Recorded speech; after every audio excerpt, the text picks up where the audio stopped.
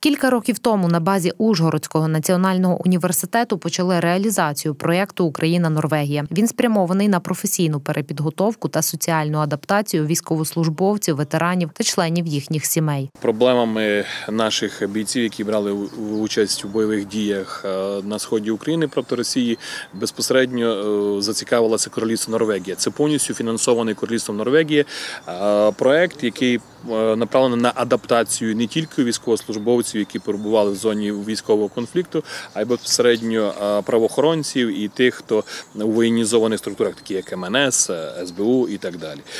Адаптація після того, як ти виходиш на пенсію, досить в молодому віці, звичайно, говорить про те, що далі людина себе веде пошук.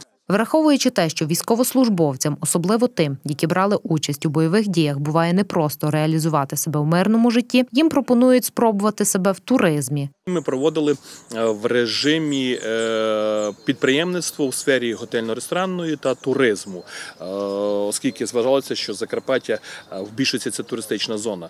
Направляли основні аспекти на адаптації за три місяці. Приходили п'ять днів у тиждень курси, плюс в суботу-неділю бували виїзди на практичні заняття, показували, як працює туризм, готельно-ресторанна сфера, ферми крафтові, як працюють виробництва. Такий формат діяв протягом п'яти сесій. За цей час перекваліфікуватися і залишитися в туристичній сфері вдалося не менше 10-20% випускників курсів. Олег Белейканич на проект потрапив восени 2019 року. Почув про нього ще перебуваючи на сході. Проте тоді долучитися не мав змоги. Ще на, е, під час служби я там вже замислювався.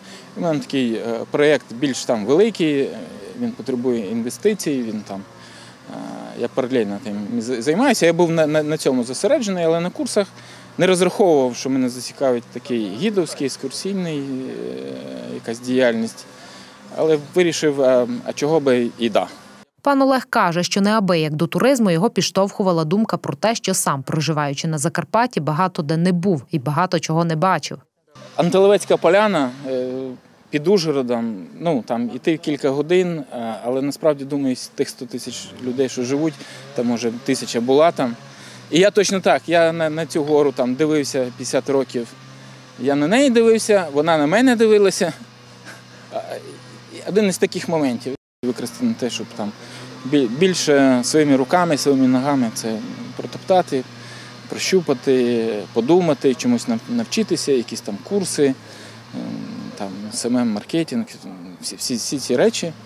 Ще один учасник проекту, який започаткував свою власну справу, Богдан Дерев'яга. Про нього ми вже розповідали в часі. Нагадаємо, звільнившись з лав збройних сил України, він зацікавився історичною реконструкцією. Інформацію, як перетворити хобі в прибуткову справу, йому дали на курсах. Наразі він за середньовічним взірцем шиє взуття та аксесуари зі шкіри. Так сталося, що я долучився до клубу історичної реконструкції, і перша моя потреба, що мені було, це потрібно було зробити або купити взуття. Я вирішив його зробити самостійно, і мене, в принципі, можна сказати, з першого разу вдалося. І в подальшому ну, це стало фактично початком моєї власної справи.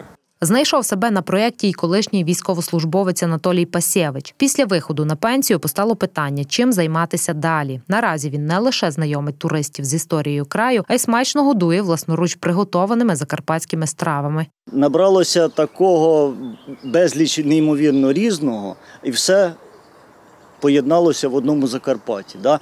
Про це можна розповідати, і я про це все розповідаю також е, і історичні факти підвожу. А відповідно до цих історичних фактів за кожну страву вже йде і розповідь, походження її.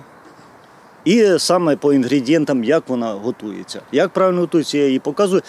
Анатолій каже, що дуже важлива в цій справі правильна презентація. Навіть своїм вбранням наш герой вже прагнув частково подати історію Закарпаття. Вишиванка, кептар, головний убір яскраво, а головне пізнавально. Адже до прикладу, на основі вишивки можна дізнатися про приналежність до певної етнічної групи, а за способом носіння капелюха, проживання в тому чи іншому районі області, наприклад, в Тячівському носили так. Є ще один, да? І там ще ближче тоді, там, допустимо, до Румунії. Да? Так. Ага, у них Є. Можна. Анатолій переконаний, що успіх у цій справі залежить від комплексу факторів успішного старту, який надав йому проект Україна Норвегія, роботи на всіх напрямках від буквально польових до сфери реклами та соцмереж, а також від підтримки рідних та друзів. Набирався темп, ішов розвиток, йшло далі все, все. Коротше, колесо завертілося так, і ще й тим більше життя е, у соціальній мережі воно дало свої знаки. Е, Друзі, однодумці, знайомі, багато колег було по службі. Вони просто підтримали мене це в соціальних мережах. Далі воно пішло, пішло, пішло. Ну а я вже просто мусив розвиватися.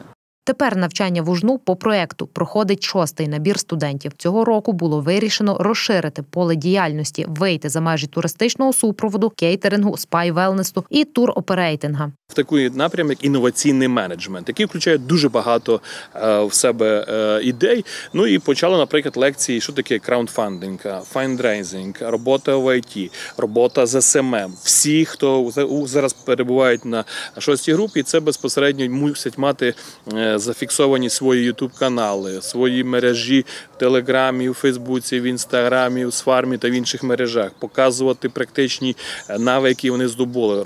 До курсів активно залучають випускників, які можуть поділитися своїми історіями успіху. Ми розповіли лише про деякі з них. Запевняємо, їх набагато більше.